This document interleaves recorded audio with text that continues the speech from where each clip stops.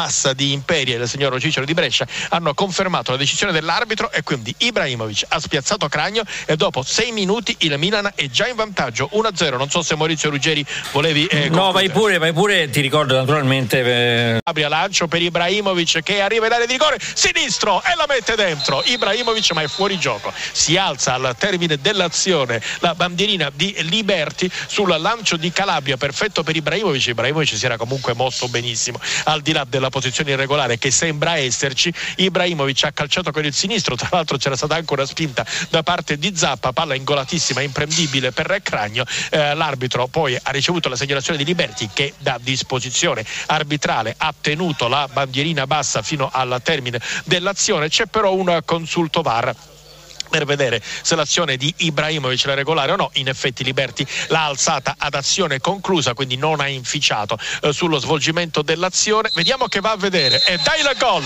E dai il gol! Il raddoppio di Ibrahimovic che dunque era in posizione regolare sempre allo stesso minuto, sesto nel primo tempo per il gol sul rigore, sesto della ripresa per il gran gol su azione. Ancora una volta protagonista Calabria. Suo il lancio Ibrahimovic è scappato in linea, entrato